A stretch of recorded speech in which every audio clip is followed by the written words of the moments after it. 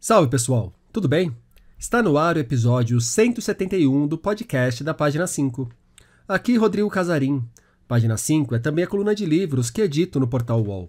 Estou no Instagram como página.5, no Twitter como arroba rodcasarim e no Telegram, só procurar pelo grupo Página 5. Também assine a newsletter da Página 5. Basta me mandar o seu e-mail por qualquer rede social ou se cadastrar no página5.substack.com. Link na descrição do episódio. Vocês já conhecem A Biblioteca no Fim do Túnel? Um Leitor em Seu Tempo? É o livro que lancei pela editora Arquipélago. Ele já está disponível em diversas livrarias pelo país. Uma igreja que ressurgiu após ficar mais de 40 anos soterrada sob a areia. Um ritual do povo tremembé. Uma crônica de Carlos Drummond de Andrade, publicada em 1946 e descoberta no momento decisivo para a autora as cidades portuguesas que dividem o mesmo nome. Um personagem emprestado de outro escritor, o angolano José Eduardo Agualusa. São elementos que ajudaram Socorro Ascioli a encontrar a história que conta em Oração para Desaparecer. Esse é o primeiro romance que Socorro lança desde A Cabeça do Santo, livro de 2014 que aos poucos conquistou uma quantidade enorme de admiradores. No novo trabalho, do lado de lá do Atlântico, nós temos Cida, mulher que busca construir uma nova vida num lugar desconhecido. Do lado de cá temos Joana, ainda viva nas amorosas lembranças de Miguel. Oração para Desaparecer é uma história sobre identidade, religiosidade ou misticismo e, claro, amor. É também uma obra sobre as histórias que nos constituem. Escritora que estudou com Gabriel Garcia Marques, Socorro costuma ser apontada como uma herdeira brasileira do realismo mágico. Também falamos a respeito disso no papo que vocês ouvem agora. Socorro Acioli, muito obrigado pela presença aqui no podcast da página 5. Socorro, geralmente, quando começo os papos, eu já vou direto no livro mais recente da pessoa, mas dessa vez eu quero ir um passo atrás para uma história que eu acho que está na gênese do livro, e que eu li numa entrevista que você concedeu para o Gilberto Amêndola, do Estadão. E ali você contou que alguns anos atrás uma amiga sua estava numa exposição de fotografias históricas no Ceará, viu a foto de uma igreja soterrada por terra e essa sua amiga lembrou de você na hora e te mandou essa foto, falou dessa história para você. Por que, que alguém lembra de você quando vê uma imagem dessas? Oi, Rodrigo, obrigada por estar aqui, pelo convite para o podcast, que eu sou fã, fã do seu trabalho, você sabe disso. É, mas não só Igreja Enterrada, mas qualquer história assim absurda que envolva santo, alma, igreja, túmulo, as pessoas me mandam, porque qualquer coisa ligada à religião, mas a religião de uma forma muito pouco convencional, as pessoas mandam para mim. Acham que eu vou gostar, e eu gosto mesmo e, e fico. E no caso da, da igreja, a princípio eu não achei que fosse render nada. E, mas eu fiquei com a, mas eu fiquei com a história na cabeça. Agora elas mandam de tudo. Hoje mesmo, acho que. Não, ontem mesmo me mandaram. Me mandaram uma história de um cachorro de uma cidade que assiste a missa, ele sabe a hora da missa, ele vai para o altar, ele fica na missa até faz uns gestos como se ele estivesse participando da missa e sai na hora que a missa termina. Então, sempre me mandam alguma coisa assim. Eu, tô, eu tenho muito material de, guardado de envios de amigos. O Cabeça do Santo, que você lançou em 2014, ele nasce de uma história que tem a ver com isso, de uma estátua desmembrada que nunca conseguiram juntar o corpo com a cabeça. Então, é uma, uma cabeça que jamais pertenceu ao, ao corpo em si da estátua, e daí você constrói ali o seu romance. É, as pessoas começaram a te mandar esse tipo de história ligado à igreja, ligado à fé, ligado à religião de uma forma geral, depois da cabeça do santo, ou já era uma coisa que vinha antes? Depois do cabeça do santo, mas sim, as pessoas que me conhecem, amigos, pessoas que convivem, sabem que eu tenho uma inclinação para esses temas místicos de, desde muito cedo, assim, eu, eu era a pessoa, por exemplo, no meu, no meu colégio, uma escola católica, super católica, tradicional que sabia onde é que tinham as cartomantes em Fortaleza, sabiam, sabiam os endereços das cartomantes. Então, perguntavam para mim. Já quem me conhecia na intimidade já sabia que eu gostava desses assuntos. Mas aí, depois do Cabeça do Santo, eu virei tipo a embaixadora dos, dos mistérios dos mistérios de santo, santos e túmulos do universo. E aí, do cabeça do santo para oração para desaparecer, são sete anos, não, nove anos. O que, que você andou fazendo nesse tempo? Foi tudo isso escrevendo? Estava dando um jeito de pagar as contas enquanto dava um jeito de escrever? É, nesses nove anos eu fiz, eu terminei o doutorado, foi a primeira coisa. Aí trabalhei muito na divulgação do Cabeça do Santo, né? aconteceu muita coisa, ele sai, foi publicado fora, eu viajei para divulgar o livro, muito, muito, viajei muito. Terminei a, o doutorado, como eu já disse, tive uma filha em 2015, minha segunda filha, a Camila, depois, e aí a partir de 16 foi que eu comecei a pensar, foi que eu recebi a foto da igreja, e a partir de 2017 eu comecei a ir para a Almofala todos, praticamente todos os anos, uma vez por ano, até agora, estou indo de novo agora no sábado, e, e, foi esse tempo escrevendo, mas não só escrevendo, né? Dando aula, dando aula da universidade, coordenando curso, fazendo um monte, milhões de outras coisas da, as exigências da vida real, mas a escrita mesmo eu, eu acelerei, me dediquei mais, talvez nos últimos dois anos. O resto desse tempo pesquisando e, e, e fazendo outras coisas. Por que, que você foi tanto para a Almofala? Quão importante é você estar nos ambientes da história para escrevê-las? Ou é menos pelo ambiente e mais para você pesquisar histórias que você só encontraria por ali os elementos? Não tanto o cenário, mas o que tem ali de de segredo ou de vestígios, qualquer coisa assim? Lá em Almofala, especificamente, tem. Eu, eu, eu queria estar na igreja, o máximo que eu pude, e às vezes que eu podia, eu fui para estar dentro da igreja para ver a igreja por dentro, os, as passagens, por onde os personagens iriam, o tamanho, ter essa noção. Também porque, inevitavelmente, eu tinha que entender um pouco com para lidar com uma coisa importante que é o fato de Almofala ser território Tremembé. Quando eu soube da igreja, eu não sabia disso, então não imaginei que eu fosse me deparar com essa necessidade de, de pesquisa mínima. Eu não sou antropóloga e não, não, não sou especialista de, de forma alguma, então eu precisava ter o mínimo cuidado para lidar com as questões religiosas e culturais do, do povo Tremembé. Então eu fui várias vezes para isso. Eu, cheguei, eu fui à casa de cura dos Tremembés, tanto de Almofala como de outra de outro aldeamento, que era na, na Barra do Mundaú, estive lá com, as, com o cacique, com o pajé, conheci a escola, e tem muita coisa, a maioria dessas coisas nem entrou no livro, detalhes e coisas que eu pesquisei, mas eu precisava estar lá, e também porque a Almofala é uma praia aqui do Ceará que ainda não foi descoberta pelo turismo, ela fica antes de Jericoacoara, assim, pensando na, de Fortaleza para lá, fica de Fortaleza a Jericoacoara, a Almofala fica antes de Jeri. Então é uma praia tão bonita quanto que ninguém descobriu ainda. Então, é, é então seu livro é uma peça de marketing para bombar a praia e vender agora um monte de terreno por lá e subir condomínio de luxo, é isso? Ah, eu espero que não. não, não tem esse poder. Não, eu não, não, não chego. A literatura não manipula ainda, não tem poder dentro do mercado imobiliário, não. Assim espero. Um aspecto interessante da oração para o desaparecer, um dos mais latentes, é a questão da identidade e de como a língua amarra a história. Ali, em determinado momento, logo no começo, constatam que a Cida ela não fala português, alguém aponta que ela fala brasileiro, né? Uma coisa muito da, da nossa língua mesmo. E depois, em alguns outros momentos, surge a pergunta, que é o que é ser brasileira? Tenho mais dúvidas sobre isso do que, de fato, sobre quem eu sou.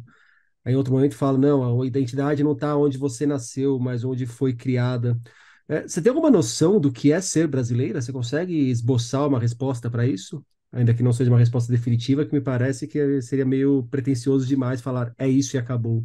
É, não tem como ter resposta definitiva, mas eu acho que esses quatro últimos anos de terror que a gente viveu foi um tempo em que, em que tudo foi muito questionado. A gente se questionou muito cadê aquele, aquele Brasil que a gente tinha tanto orgulho em tantas coisas, né? Eu estava vendo uma, uma mesa com o Jamil Chad lá em, na Fliparacatu, ele dizendo que, que quando começou a Covid, um, um, um dos diretores da OMS disse para ele, ah, o Brasil vai tirar de letra, porque vocês têm um trabalho com a vacinação, com a pesquisa, com a vacinação, com as campanhas muito eficiente, e, e, isso foi tudo por terra, a gente ficou assim, então, o que é que a gente tem? Eu, pelo menos, fiquei, né? Enfim, o que a gente tinha vai sumir, né? todo, todo o trabalho que foi feito pela cultura brasileira vai sumir, vai, vai, vai desaparecer, vai se acabar. Eu fiquei muito nessa questão. E, e ficou aconteceu ao mesmo tempo que um amigo me indicou um livro de um, de um economista que depois foi estudar psicologia analítica, que é o Roberto Gambini, e ele tem um livro chamado Espelho Índio, que foi a, a tese dele, que foi premiado no Instituto Jung, que ele tem uma, ele faz uma analogia como se o Brasil fosse um paciente em terapia, supondo que o Brasil fosse não sei, uma pessoa, um paciente em terapia que nega o próprio o pai e a mãe, que não se reconhece como filho daquele pai e daquela mãe, que é essa nossa alienação, esse racismo estrutural, a gente negar um, um monte de de referências que a gente desconhece, inclusive, porque foram apagadas. Né? Que o pensamento junguiano tem muito a ver com essas referências anímicas, simbólicas, que a gente desconhece porque foram apagadas. A gente, o, que a gente, o que sobrou e o que a gente tem é, é o mínimo em relação ao que era antes das invasões, né? das, das, da chegada dos, dos europeus. E aí eu fiquei muito intrigada com essa pergunta do que é essa alma brasileira, o tanto que a gente desconhece a alma brasileira e com esse momento que a gente ficou tão tão triste em ver o Brasil deixando de ser aquele o Brasil que a gente se orgulha e gosta. E eu acho que essa resposta do que é ser brasileiro, eu acho que a gente está até mais perto hoje, hoje de entender do que há 10 anos. Mas sempre vai ser muito complexo. Sempre vai ser muito complexo. Um país imenso, é, ser, ser cearense é uma coisa, ser paulista já é outra, completamente diferente. Imagine entender uma identidade de um país imenso. Eu vejo nessa sua resposta um pouco do reflexo do livro, principalmente da primeira parte ali, onde a Cida está por Portugal e ela vai atrás de uma história possível para ela, para ela se constituir de alguma forma. Seria meio como assim o brasileiro estivesse atrás dessas respostas, buscando na sua própria história, buscando na sua na sociologia, na antropologia, muitas vezes, e a Cida vai ali num vendedor de passados, é, toma um outro caminho para de repente constituir uma história para ela, para ter a identidade, uma nova identidade ou a identidade da vez. Mas é isso, né? É, nós somos as nossas histórias, não temos como ser outra coisa, não temos como nos se fazer de outra coisa senão do que a gente viveu e do que nós construímos no caminho e do caminho como ele foi nos construindo, de repente. É, e uma história em comum, assim, a gente, quem tem quem, as gerações parecidas, assim, idades semelhantes, a gente cresceu ouvindo, os, a gente tem as mesmas referências musicais e culturais de cantores, de compositores brasileiros, a gente tem um conjunto de, de memórias em comum, que a gente às vezes passa despercebido, né? O tanto de coisa que a gente conhece junto, que a gente cresce lendo, que a gente cresce escutando, e, e isso que vai constituindo a gente, e aí imagino o que é perder, né? Que é de repente apagar a memória, você perde tudo, fica sobrando só uns rachos aí nos sonhos, e aí acabou, porque você não tem mais as referências das pessoas, das, das relações, das situações, dos lugares, que é o que acontece com a personagem. E, e aí você, a gente perder isso, que a gente tem tanto, né? a gente tem um tempo inteiro com a gente não sabe, não tem noção do que, é que pode ser perder. Eu também não tenho, nunca perdi a memória. Nunca aconteceu comigo, nem por um momento. Até onde você lembra, né? Talvez você tenha é, perdido, mas não se lembra. Não, a gente perde muito, né? Para psicanálise, a gente tem um monte de memória escondida aí que, se, que a gente não lembra e se transforma em, em sintoma. Mas aí é outro campo. Só que eu queria entender um pouco melhor sobre o processo de, de concepção do livro mesmo. Você falou da igreja, falou das idas até a, a cidade, até Almofala, e como a partir disso, aí contato ali com os Tremembés, da cultura dos Tremembés, é, você chega num livro que tem essa questão da busca por uma identidade, um livro que se passa em boa medida em Portugal. Pode falar um pouco mais dessa, dessas pesquisas iniciais e de como esse livro foi tomando a forma que tomou? A ordem foi assim: primeiro a fotografia e a igreja. Aí, primeiro o impulso foi ver a igreja é almofala, botei a, almofala, a palavra almofala no Google. E assim que eu fiz isso, eu vi que existe, existem sete almofalas em Portugal aldeias com o nome de Almofala em Portugal, que é uma palavra árabe, que é Almohala, que é acampamento temporário, que, que, que é natural que existam vários acampamentos temporários em Portugal por causa da, das invasões moriscas e tudo. E aí eu fui ver essas aldeias, aí vi que o Saramago fala de uma almofala no Viagem a Portugal, ele cita uma das almofalas, fui ver, são aldeias que não tem pouquíssima coisa, são muito pequenas, são muito isoladas, essas almofalas todas. Aí eu fiquei anotando, é, anotei essa, essas primeiras informações, mas não avançava, não conseguia avançar para ter uma história. Eu tinha uma igreja, eu tinha o nome de uma aldeia, eu tinha o nome de mais sete aldeias, eu não, não consegui, não, não, não tinha, eu não estava avançando, cheguei a pensar em desistir. Cheguei a pensar, cheguei a pensar, não, eu desisti. Aí eu só fazer uma pergunta nesse ponto. Você chegou aí para essas outras almofalas? Fazer esse sacrifício de fazer todo o tour para Portugal, tomar todos os Não, vinhos todas que aparecem no, ao longo do livro? Todas não. Eu, eu fui a uma das almofadas, que é perto de Caldas da Rainha, que era a mais possível, assim. Mas foi muito engraçado, porque quando a gente foi comprar passagem, a gente comprou a passagem de ônibus em Caldas da Rainha, que, que é uma cidade que, que tem fluxo de turistas, porque tem lá a fábrica do Bordalo Pinheiro, tem várias coisas. E aí, quando a gente pediu a passagem para Almofala, o, o cara não queria vender. Aí ele olhava para a colega dele e dizia, elas querem ir para... Eu estava com uma amiga, com a, com a Tâmara, ela disse, elas querem ir para Almofala. Aí a mulher dizia, problema delas. Mas elas querem ir para Almofala. E o lance é porque não tinha ônibus de volta. A gente estava indo, tipo, uma da tarde e não tinha ônibus de volta. E era um lugar, quando o ônibus foi subindo, subindo, subindo, indo, indo, indo, foi que a gente viu que aquilo era uma, loucura. A sorte é que nesse, nesse período que eu estava lá em Carlos da Rainha, eu- a gente pegou um táxi por algum motivo e eu peguei o cartão do cara. E ele tinha se oferecido para levar, para não sei o quê. E a gente, não, a gente vai de ônibus mesmo. E aí eu peguei o cartão desse taxista. A, nossa, a gente só não ficou em Almofala, virou à noite lá na, na aldeia, Erma. E, e, e teve uma peculiaridade lá, um negócio horrível, porque não tinha ninguém na rua, era só cachorro latindo, a- 70% das casas abandonadas. E a gente chega, viu só um casal de idosos, essa minha amiga foi falar com eles, e eles disseram que ali era uma terra amaldiçoada, porque naquele fosso, porque ela tinha, ela ficava no alto da montanha e tinha de fato um desfiladeiro, assim, era um lugar de, de desovar corpos de enforcados que os enforca... que aconteciam enforcamentos eram jogados os corpos dos enforcados e que era uma terra maldita, não sei o quê. Então foi só piorando, ficando pior, ficando pior, ficando pior, e até que enfim a gente conseguiu falar com o taxista, ele foi buscar, né? Mas eu fui só para uma almofala, foi, foi emoção suficiente já.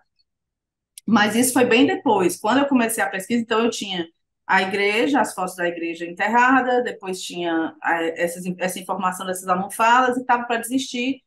E aí coloquei de novo a igreja, achei um documento do IFAM, que era um documento do restauro, falando do tipo de madeira da igreja, como é que foi restaurado, desenhos, desenhos técnicos, né, as plantas técnicas da igreja. E aí tinha o cara citava assim, estava lá falando, ele disse assim, porque segundo Drummond, não sei o que, não sei o que, não sei o que, e eu fui olhar se o Drummond era o nosso Drummond, o Carlos Drummond de Andrade, e era, é uma crônica dele de, de 46, se eu não me engano, 17 de novembro de 46, que com o título Areia e Vento. Aí ele dizia: Vim, é, Eu peço aos poetas, aos artistas, aos, aos sábios, aos. sei lá o que ele dizia, vejam a, vejam a igreja de Almofala, prestem atenção na igreja de Almofala. Aí ele contava a história, uma história que eu não tinha encontrado em nenhum outro lugar. Ele dizia que, ele contou que essa história inteira, né, que os Tremembés encontraram uma, uma santa, a história que, que dá origem ao livro. Eles, eles, encontraram uma santa, que é muito comum, essas santas encontradas né, por, em rios e, e, na praia, queriam adorar a santa, e a coroa portuguesa, os, os, os padres seculares que estavam lá em Almofala, disseram, não, a gente quer a santa e em troca a gente manda fazer uma igreja aqui, vocês podem dançar o torém, a gente constrói junto essa igreja, vai ser nosso acordo de paz. E assim foi feito, eles, os Tremembés pegavam os búzios do, do, mar e trituravam, misturavam com a cal da igreja, fazer caldo de mariscos. Vieram lá os escravizados da Bahia pelo rio Acaraú para construir, trazer a madeira, fizeram lá o pacto de paz e a igreja, com, com a força, né, com dinheiro português, mão de obra dos tremembés e dos escravizados, com material que veio da Bahia, mas o pacto não foi cumprido. Aí isso é o que o Drummond conta na crônica. O pacto não foi cumprido, então os tremembés acreditam que foram os encantados que cobriram a igreja de volta. E uma mulher quando começou a igreja começou a ficar soterrada, esse padre, Antônio Tomás, que era o bispo do, do Ceará, ele vai lá para tirar a, a labareda, a santa, que era a santa que os tremembés encontraram. E é essa mulher, que o Drummond nomeia como Joana Camelo, que ele diz que é uma prostituta, de Almofala, ela, ela vai defender a santa, vai querer dizer, não, a santa tem que ficar aqui, ela, na briga, joga um tamanco na cabeça do padre Antônio Tomás e corta a cabeça do padre. E aí, nesse, por causa da crônica do Drummond, eu disse, agora eu, agora eu posso fazer alguma coisa, porque agora eu tenho uma personagem. Agora eu tenho Joana Camelo. E aí fui, tentei descobrir lá, perguntei, tentei saber dela, ninguém sabe, ninguém sabe, ninguém sabe. Essa história também é, é século XVIII ainda, não tem referência dela, mas aí agora eu tinha uma história, graças a, a essa crônica, agora eu tinha como, como criar uma história, que é diferente do Cabeça do Santo, que desde o começo eu tinha um personagem. Desde o começo eu sabia, na matéria de jornal já tinha, que um cara tinha morado dentro da cabeça, então já foi mais um caminho para mim mais, mais tranquilo. E a igreja eu fiquei um tempo ainda, acho que uns dois anos, para entender. Aí as coisas foram acontecendo. Por exemplo, eu estava um dia lá, entrevistei um, um seu Júlio, um pescador que, que era criança quando a igreja estava ainda soterrada, e ele me contou, tinha um negócio que a gente colocava as coisas aqui e aparecia em Portugal, e coisa que estava em Portugal aparecia aqui. E que é a, a, a chave também mais importante do livro, né? que é existir uma espécie de. Eu estou dando spoiler. Não, mas, mas pode dar. É, livro, li, livro, quando está bem feito, quando está bem escrito, não tem problema. Revelar o enredo não acaba com o livro, não. Tem gente que odeia. ah, mas aí é leitor melindrado. Aí eles já é. ouviram que tem spoiler, se quiser, eles pula cinco minutinhos. É, e vai tem, voltando para. Tem, tem leitor que odeia.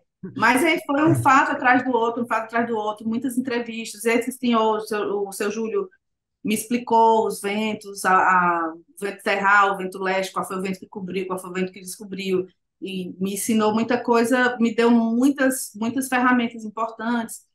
E, e aí, até chegar, aí eu, eu tive a ajuda de um antropólogo, o Ronaldo Queiroz, que pesquisa a religiosidade de Tremembé, que ele me ajudou muito. E aí, um dia, eu disse: Olha, eu estou com um negócio na cabeça que é que o seu Júlio disse, que essa história dos objetos desaparecerem lá, aparecerem aqui, vice-versa, leva a santa a santa volta. Ele contou lá umas coisas.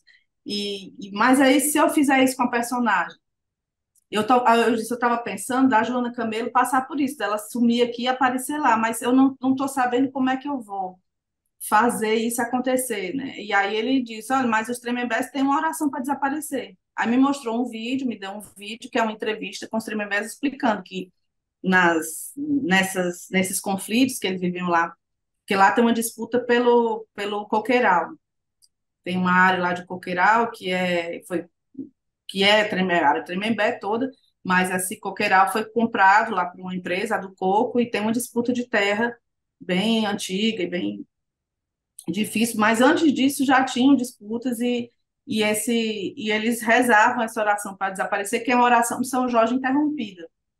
Eles rezam a oração de São Jorge, até certo ponto, quando eles param que meus inimigos tenham olhos não me vejam, aí eles dizem uma frase lá, eu de invulto, desinvulto, e não sei o quê, e aí pra, eles dizem que eles se transmutam, né? Se estiver perto de uma árvore, fica da cor da árvore, se estiver perto de uma pedra, fica da cor da pedra. E existe, de fato, essa oração.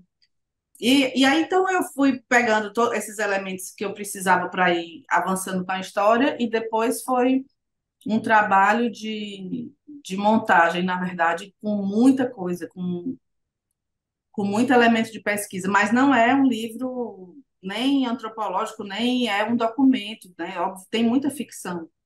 A base toda, eu respeitei uma base, uma base de organização social e de, né, de, de métodos e de, de modo de viver dos Tremembés, mas é muita, muita ficção, não é de jeito nenhum um documento, está bem longe de ter precisão histórica ali. Só que o, o básico eu respeitei. O, essa história do Tremembés, você pega, por exemplo, os encantados ou o próprio, o próprio poder da oração para desaparecer, é, muita gente poderia olhar isso e falar, ó, oh, aqui mais um exemplo do realismo mágico, como as pessoas acreditam no, numa coisa fora do mundo material para explicar alguma coisa, para chegar em algum lugar, para dar uma solução para um livro.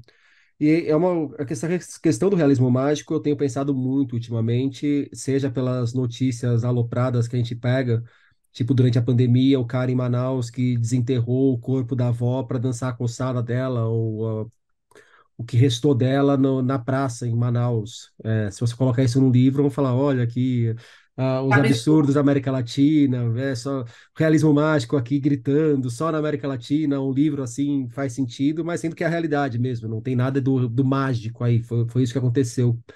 É, ou então quando a gente pega nas últimas eleições que o PT precisou soltar uma nota desmentindo que o Lula teria se reunido com o Capeta para conversar sobre o, o, caminho das eleições. Não sei se você se lembra disso. E assim, é, quando a gente fala de Deus, quando a gente fala do capeta para um cara ateu que nem eu, isso aí é a própria magia, o mundo mágico interferindo na nossa realidade pragmática. Mas para quem acredita em Deus, para quem acredita no capeta, isso aí faz total sentido e é o realismo e acabou. Não tem nada de, de mágico nisso. Como que você vê essa questão e como que hoje você lida com esse rótulo de realismo mágico que tantas vezes te, te atribuem? Eu tenho, eu tenho um, um termo que é usado para literatura, para as literaturas africanas, é que é o realismo anímico, que eu acho que ele dá muito mais conta de falar desse tipo de, de texto, por exemplo, que lida com, com a religiosidade do, dos tremembés ou de qualquer do, dos povos originários aqui no Brasil em geral, que é essa essa concepção, né, criar uma história a partir de uma concepção que não separa homem, natureza e, e espírito, e, e, e, seres que, que não se veem e coisas que não se explicam. Então, esse realismo anímico, eu acho que ele dá mais conta. O realismo mágico tem, o termo mesmo, já tem uma, uma associação direta com o período, com, ali com, com o tempo, com o período, com o grupo de escritores. Para mim, não incomoda de jeito nenhum, assim como não incomoda quando chamo de regionalista, porque as pessoas tentam, né? É um esforço natural, é uma tentativa de, de, de classificar, de qualificar, de colocar, de tentar entender o que é está sendo feito. Mas eu ainda acho que precisa existir um novo termo pra, na literatura contemporânea para substituir o realismo mágico, e eu acho que, que a, o Pepe Tela, que, que disse, usou esse realismo anímico pela primeira vez, né? E aí, hoje já é um termo teórico, usado por outros teóricos, tá? mas eu acho que precisa existir, eu acho que o realismo anímico está mais perto disso. Mas vamos, vamos para mim, assim, isso não, não me importa, na verdade, não, quer dizer, não é não me importa, não me incomoda essas associações. Associação que faz com Garcia Marques, associação com realismo mágico, associação com regionalismo. Até porque não é uma coisa exatamente problemática ser associada ao Garcia Marques, né, pô? Não, às vezes é, porque às vezes isso é colocado de forma depreciativa, mas não me incomoda porque a, a, a, eu, eu sou uma defensora do, dos direitos do leitor, e, dos meus direitos como leitora, porque eu também leio um monte de coisa que eu não gosto, leio um monte de coisa que eu não, que, assim, entre amigos eu falo que eu não gosto e o que é que eu acho, né? A gente até já teve conversas assim, fora do, dos microfones, e eu defendo absolutamente a, o direito das pessoas de não gostar e de julgar como quiser. Mas se a gente for pensar em termos de teoria, for pensar, sei lá, ter um pensamento assim de, de, reflexivo sobre o que é esse realismo mágico e o que é esse tipo de texto, esse tipo de história no nosso contexto brasileiro, eu acho que, que exige uma reflexão mais aprofundada e talvez um, exige um termo né? Tem, tem pessoas escrevendo, tem coisas acontecendo agora na literatura contemporânea brasileira que talvez em breve mereçam. Na literatura latino-americana, a gente conversa, já conversou também sobre as autoras, as argentinas, que a gente gosta muito, e as outras autoras latino-americanas. Tem coisas acontecendo que ainda não estão bem nomeadas, e que eu acho que o, o título Alcunha de Realismo Mágico não dá mais conta, não é mais suficiente. Bom, a gente talvez até continue na mesa do bar, porque aí já começa a entrar no, nas hipóteses e se perder no, nos caminhos do pensamento, mas talvez até a é. própria a palavra realismo, o realismo não esteja mais dando conta do que é o real de verdade. E o realismo na literatura, ele sempre se pro, pretendeu muito organizadinho, e o mundo lá fora tá, tá longe de ser esse realismo organizadinho que a gente encontra na, na literatura realista, muitas vezes, né?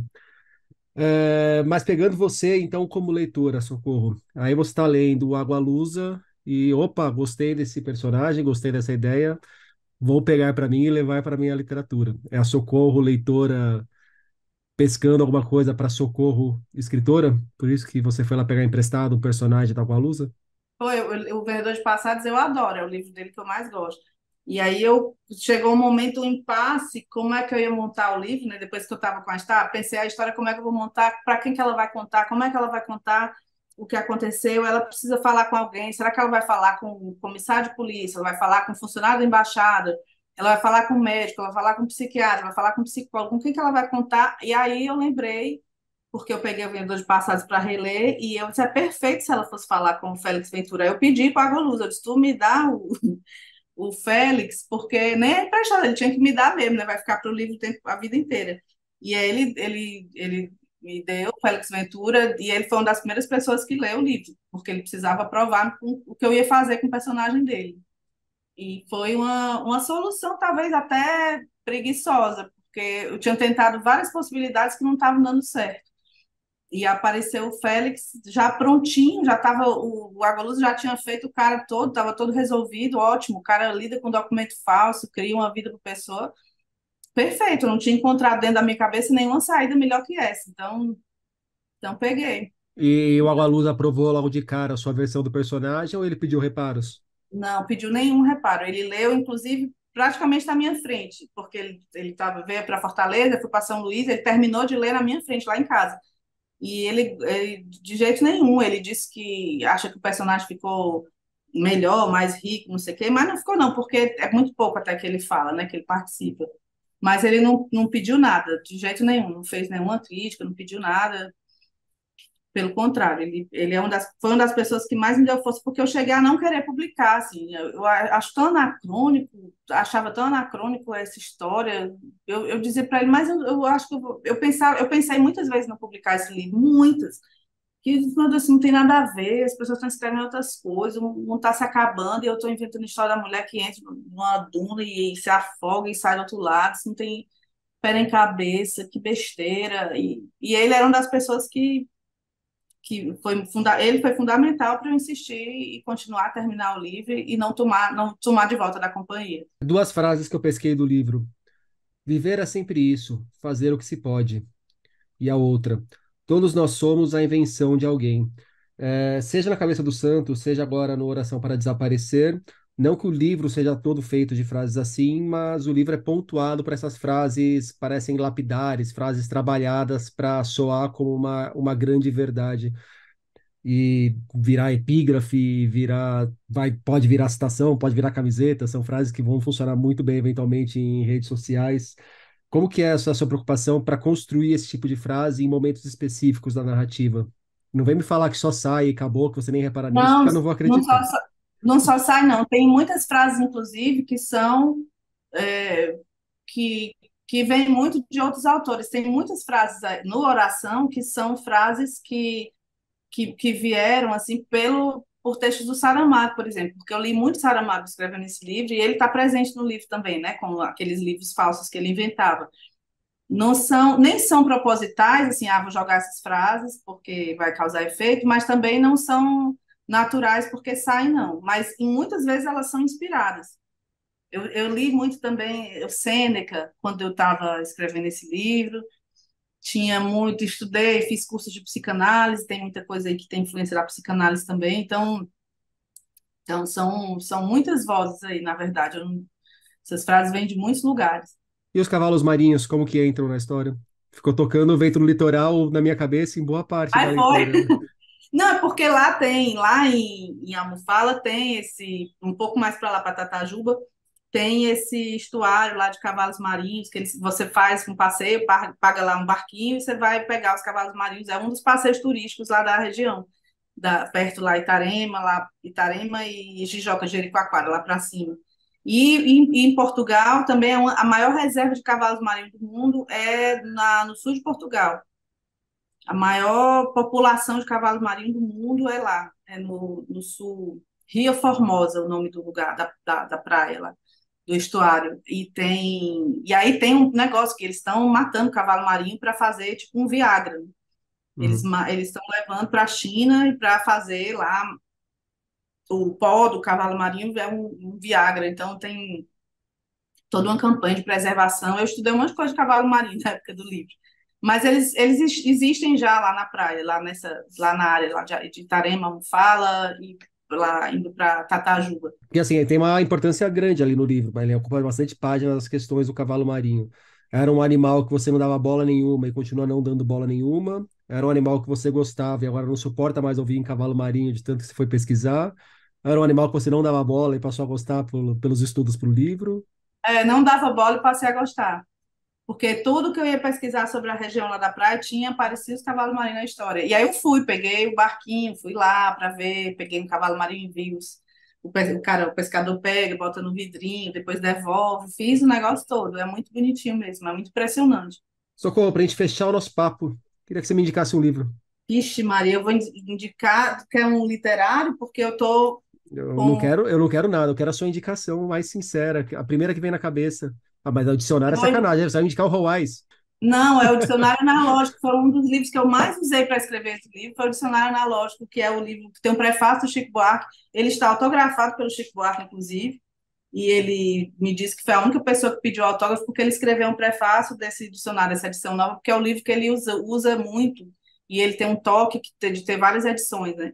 E esse dicionário analógico ele é uma das coisas dos livros mais literários que existem no, no mundo dos livros, né? que ele organiza as palavras por grupo. Então, eu pesquisei muito palavras relacionadas à praia, palavras relacionadas a, a essa forma de, de perceber adivinhação e futurologia e memória. Eu devo esse livro, Oração para Desaparecer, eu devo ao dicionário analógico aqui do Francisco Ferreira Azevedo, com o prefácio do Chico Buarque. Essa é a minha indicação, principalmente para quem quer escrever, né? Que a gente está com muita gente escrevendo e fazendo curso, acho que é indispensável esse livro e eu devo muito a ele. Socorro Acioli, muito obrigado pelo papo. Obrigada, Casarinho. Até a próxima. Oração para Desaparecer, de Socorro Acioli, chega aos leitores pela Companhia das Letras. Por hoje é isso aí, pessoal. Indique o podcast para os amigos e inimigos. Um abraço, um beijo, um aperto de mão e até daqui duas semanas.